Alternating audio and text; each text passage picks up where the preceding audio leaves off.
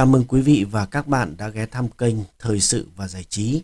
Sau đây là bài viết có tựa đề Thằng Kiên, Tổ trưởng Tổ tư vấn Kinh tế của Thủ tướng, Phó chủ nhiệm Ủy ban Kinh tế Quốc hội. Bài viết của tác giả Bùi Trinh và Đỗ Ngà.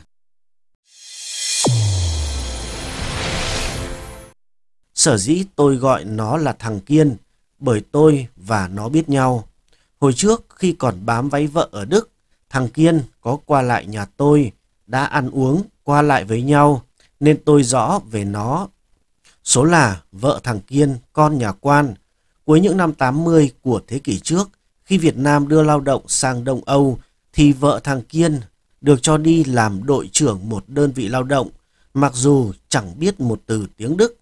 Hồi ấy nước ta còn nghèo, con quan chưa một phát lên quan như bây giờ, thì đi Tây vẫn là nhất. Sau khi bức tường Berlin sụp đổ, vợ thằng Kiên không nhận tiền đền bù mà chạy sang tới Đức. Sau khi ổn định công việc, vợ thằng Kiên đón chồng và con qua đoàn tụ. Hồi ấy tôi chả biết thằng Kiên có việc làm ở Việt Nam hay chưa, chỉ biết sau khi ất ơ bám vợ một thời gian thì có thể thấy mình thừa thãi. Thằng Kiên xin đi học tại Alphabus Studium, một dạng học nâng cao để lấy bằng ở Đức. Cái bằng nghe nói là kỹ sư giao thông ở Việt Nam trước đó. Sau 3 năm vật vờ, chắc không nói nổi ba câu chào bằng tiếng Đức, thằng Kiên bỏ học, không bằng. Rồi biến động xảy ra, rồi Việt Nam ầm ầm đổi mới, rồi tin tức từ nhà đưa qua rằng ở Việt Nam bây giờ làm ăn dễ lắm, nhất là làm quan. Đang yên lành với vợ con ở Đức, thằng Kiên nặng nặc đòi hồi hương một mình. Chắc biết chồng mình là thằng nào, vợ thằng Kiên chấp nhận cho thằng Kiên về lại Việt Nam với điều kiện phải ôm theo một đứa con để làm thanh tra bố.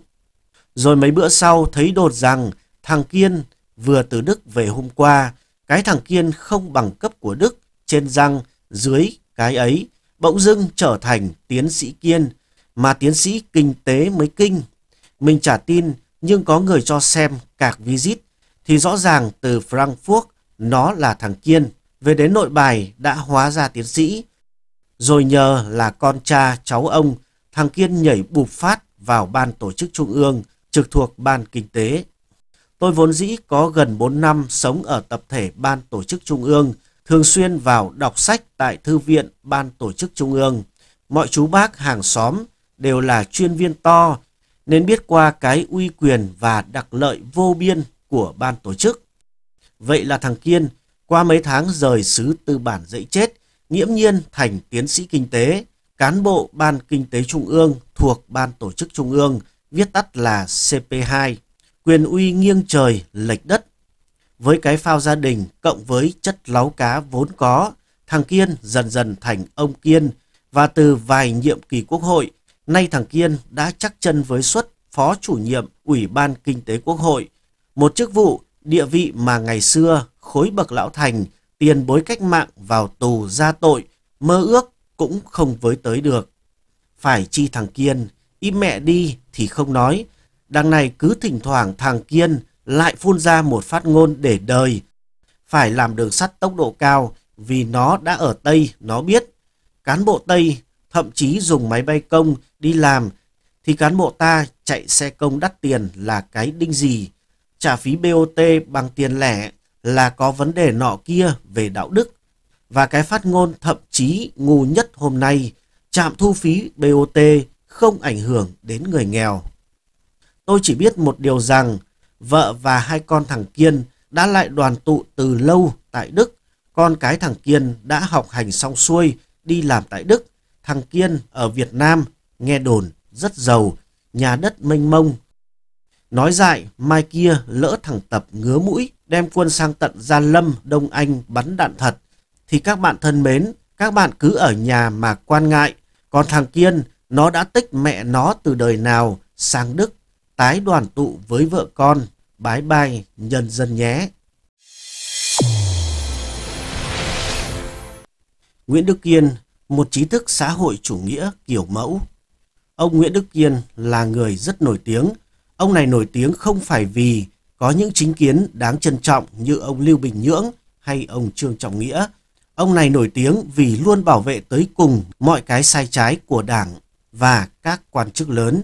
Trước kia có ông nghị Hoàng Hữu Phước cũng thuộc loại này, nhưng về mức độ gian trá thì ông Phước không thể bằng ông Kiên.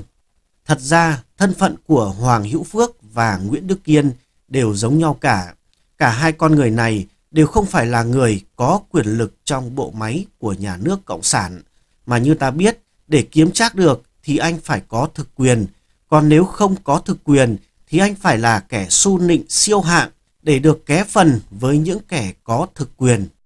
Nguyễn Đức Kiên hiểu được điều đó nên ông ta phải tự biến mình thành kẻ su nịnh siêu hạng để được hưởng chút cháo mà thôi. Thật sự ông này là một cao thủ trong những kẻ su nịnh hiện nay. Để bảo vệ nhà cửa nên tôi cần mua một con chó. Điều kiện là nó phải biết vâng lời chủ một cách tuyệt đối. Nó phải biết sủa khi ai đó đến nhà. Nó phải biết tấn công kẻ nào dám tấn công tôi. Nó phải biết câm mồm khi tôi muốn nó câm, vân vân. Và thế là tôi quyết định đến trại huấn luyện chó chọn hàng. Trong một lần quan xem hàng, người huấn luyện đã cho hàng loạt con trình diễn và tôi đã chọn một con ưng ý nhất.